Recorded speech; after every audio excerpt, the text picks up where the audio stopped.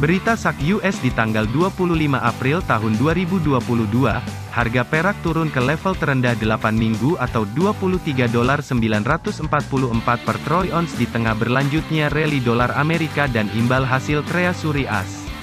Berbicara dalam sebuah panel yang diselenggarakan oleh IM pada hari Kamis, Ketua The Fed Jerome Powell mengatakan kenaikan suku bunga sebesar 50 basis poin, siap untuk dilakukan pada bulan Mei dan kembali menegaskan bahwa para pejabat The Fed tetap berkomitmen untuk mengendalikan inflasi.